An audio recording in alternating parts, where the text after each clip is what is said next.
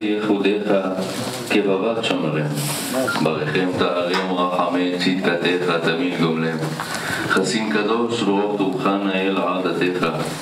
יחיד גאה לעמך בני זוכרי קדושתך. שוועתנו קבל ושמע צעקתנו יודע תעלומות. My father was a master at creating relationships.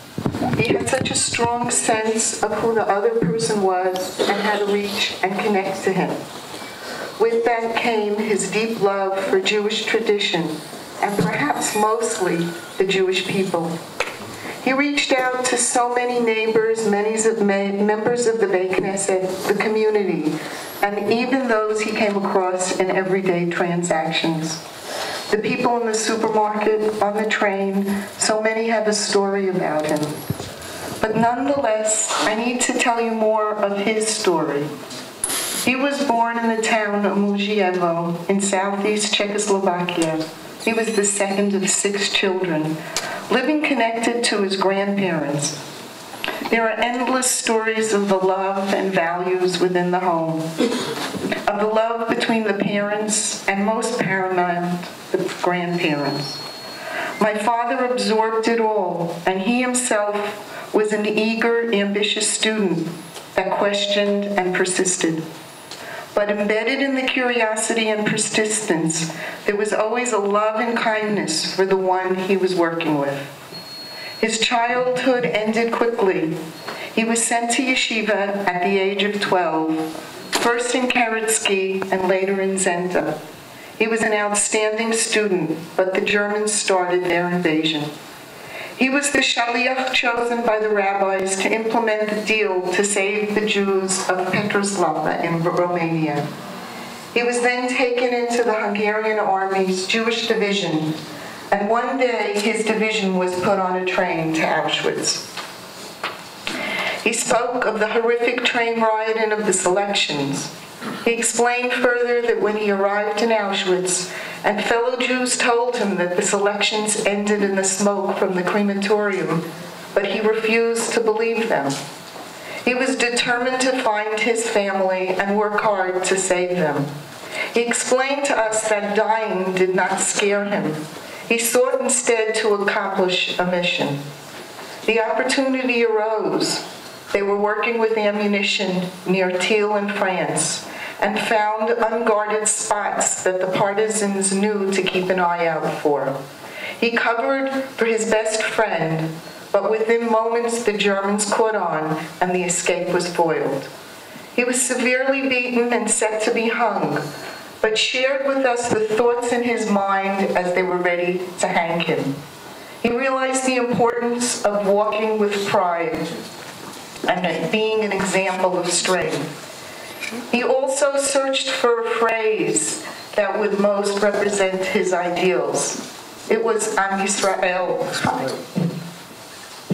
And with those thoughts, the Germans miraculously disbanded and untied, and he was untied by his friends and later liberated in Bergen-Belsen, April 15, 1949. Since my parents had moved to Israel, every April 15th they would go to the Kotel together to mark this momentous day. This year, although my father was already diagnosed and ill, we were determined as a family to celebrate this event with him. We all joined with the children, grandchildren, and great grandchildren, marking the victory 71 years after his liberation. True beauty of my father was his ability to love.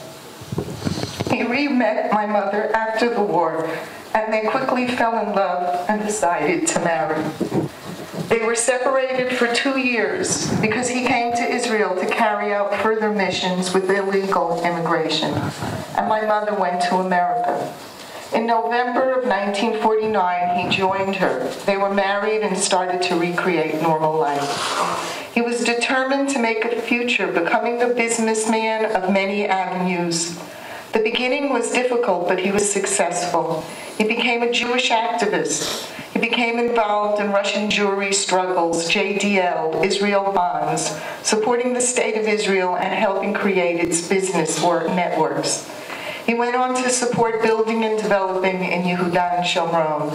Hebron held a very close place in his heart, and every year with Perry and the boys, he would daven netz of Hoshana Rabbah to commemorate my mother's father's yahrzeit.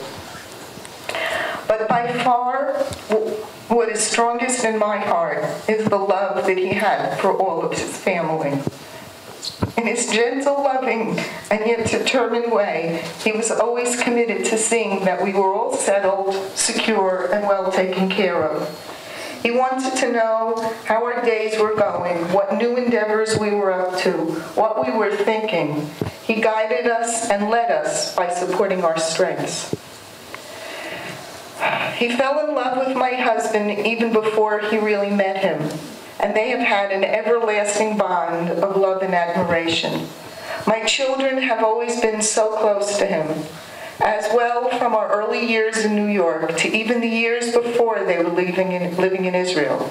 They came for Chagim and an occasion, making each one more special. My parents joined us here in Israel over 18 years ago, making Jerusalem their home. He was committed to enjoying his time together with my mother. Their relationship is an outstanding love story. Shabbat was the haven for the family. We shared his stories, ideas about the Parsha of the week, and sometimes politics. But perhaps his best joys were Chagim, both Pesach and Hanukkah, that were spent in beautiful parts of the country. He took the greatest pleasure in having us all enjoying being together. Despite his illness, he was able for many months to continue with his routine.